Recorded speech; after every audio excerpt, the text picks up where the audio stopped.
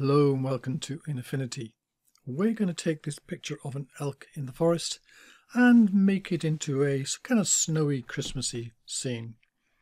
So let's start off. I'll just do a Control J to duplicate the layer. And uh, now we want to select the elk because largely we're going to make everything else pretty white. But we want more of the elk to be kind of be made, you know, a slightly different.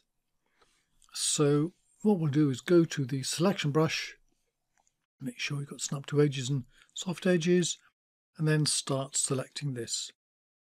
Actually, this is going to take a while because I need to get down these various bits where it's sort of in the grass, etc. So this is not a, a piece on selection, so I'm going to skip forward from here. Right, so here we are. We've got this selected and we're going to create a mask. So all we need to do is click on the mask layer there and we have a mask on this. Hit Control D, don't need that anymore because it's included in the mask. If we turn off the bottom layer we can see we've selected the elk separately. So what we can do is start making the bottom layer a bit snowier. And uh, first thing that is to go to adjustments here and black and white and that makes this a bit black and white. But to retain a bit of colour I'm going to change the blend mode to screen. So you can see it's lighter but there's some colour in there. And then we just turning start turning things up here. And because this is all underneath the elk the elk stays the same whilst we turn down the things there. So there's a lot of yellow in foliage so you can see already this is looking a lot snowier here. Sometimes you might want to back off a little bit just to keep some sort of detail in there. And turning up the greens. See there's just a little bit of green there. Adds just some colour. Cyan, you can see each one, you turn it up and down, you can see where it's affecting it. And even a bit of blue in there. Yeah, we'll lighten that up. Okay, so there we got that getting snowier there. And we'll add a bit more haze to this. So a way to do this is to add a pixel layer, then go to the gradient tool here and paint from white downwards here to black. So just in sort of basically this is hazing off into the distance. And this is from white to black and we can always change it up here if you want to, if it's not in the right amount or the right colours. So, but now for this to blend it in, we're going to go to screen again. And doing the same at the bottom, so another pixel layer here. So we're going to make this, the foreground, kind of snowier.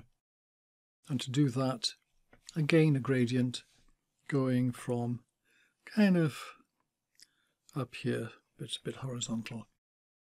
And again, we go to the blend mode of screen. So you can see this is forcing this a lot more to look like snow further down here. Actually, we don't need it going quite so much up there, so we can actually include that in a crop. So overall, going to come in from here to get past that tree there, bring this down. You don't need quite so much of the background, but we'll keep that bush in here because the elk is looking in this direction. And so the background's kind of fading off. It doesn't go all the way to white there, which actually that's, that's quite okay. So I'll apply that. But now we want to do something with this elk here. What we're going to do here, I'm going to click on here, shift click here, control G to group it and just call that background. Because that's what that actually is. And this one I can hit control G as well and just call this one elk. And then within here we've got this masked out but we're going to put a little bit in here just to control this. So I'll put in an adjustment there just HSL and bring down the saturation. So it makes this cooler and just, you know, as you might expect, a little bit was kind of whiter in there in the snow, but it retains the blacks, which is just fine. So in there as well, I'm going to put a little bit more snow on top of this elk.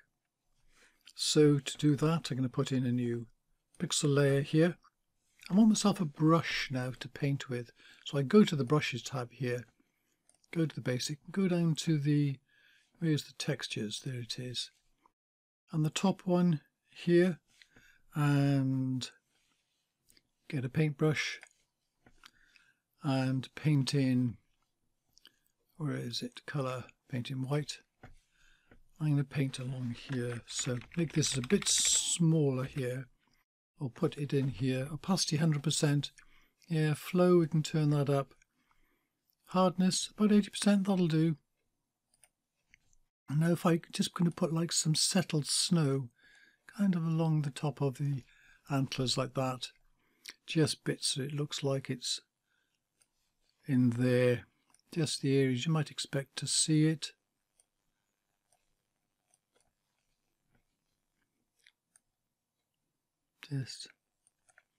Because this is a separate layer we can always pull it back if we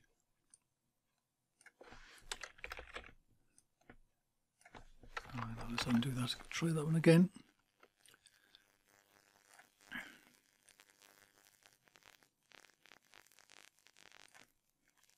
There we go. What's happening with this paintbrush, by the way, if I go to more here and go to dynamics, there's a lot of these which are jitter, which means it jiggles around a bit.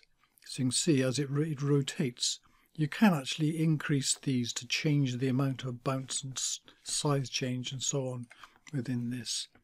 But this is kind of good enough here to do this. You can change the size of brush a bit if you like to get layers like that. And maybe a little bit up here. So you can see this is kind of looking a lot snowier now. I'm doing this just with a mouse. It's always easier with another one. No, no, make it bigger, but I'm also going to reduce the opacity down here to around about 20%. And just paint into here so that it sort of just adds blotchy bits. So, so if I go into there, it looks like it's, you know, maybe there's a bit of frost in there.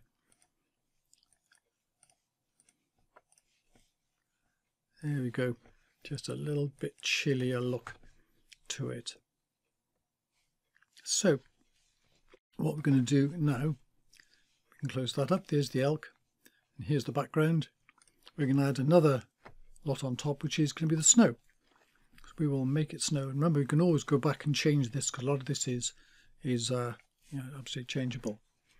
So we're going to put a pixel layer above here and in the there a common way to do this is to use use uh, noise, but we're going to use Perlin noise, which is under filters, noise, Perlin noise. And we get this effect here. We can see change the size of things like this and octaves doesn't change too much and persistence makes that a little bit whiter there. But what we're going to do is pick some snow out of this. So apply that and then going to go to the adjustments there and levels. And what I'm going to do with this is this see here's where all the light is in the middle. We're going to play around with this put up the black a bit but bring down the white it's going to make everything lighter. And as that gets closer there you can see I've now got black bits. Maybe I'll push it up the other side there because I want to get white bits. There we go so there is the basis for our snow. And if I put it together, there's smaller amounts there.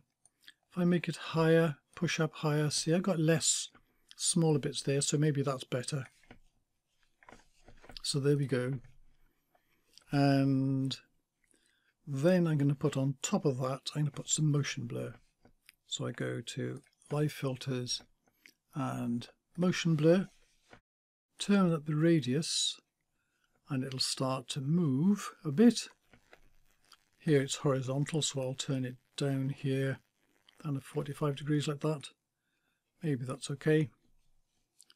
There we go, and we're going to shift click to select all of those, then Control G to group to group it, and we'll call that snow. And change the blend mode of that whole thing to screen. So there we go. We've got some snow happening there. We can always duplicate this. Control J to duplicate it. Go in and change the, the where the pixel is here, which is the snow layer. So do some more Perlin noise, but change this a bit. And the way we can see this, if I turn off the bottom layers, so I've just got this one here. So now I can change what this looks like. There we go, something like this.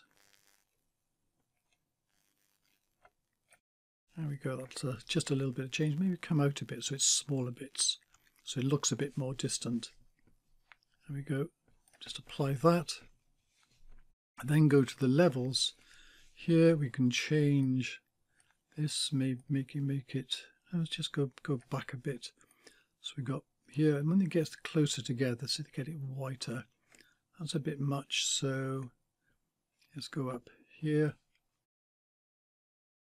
and that'll do and then try the motion blur this snaps around can be useful to give it a different position. But if I hold down the shift key then I can move it a little bit at a time. So it's a slightly different direction. So it'll give it more variation. And then bring the others back. Here we go. So if I turn that layer off and on see that gives it a bit of a more snowier picture.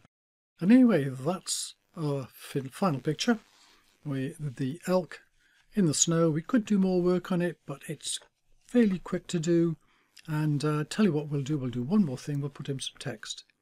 So I'll go click here, drag here to increase the size of the text, then type happy, happy Christmas. Then move tool and move it to a position we like. Maybe just increase the play with the size of it there. And to make it look a little bit fancier, we'll go down to the FX here, click on that, and we'll go to outer shadow, click on that and turn up the radius.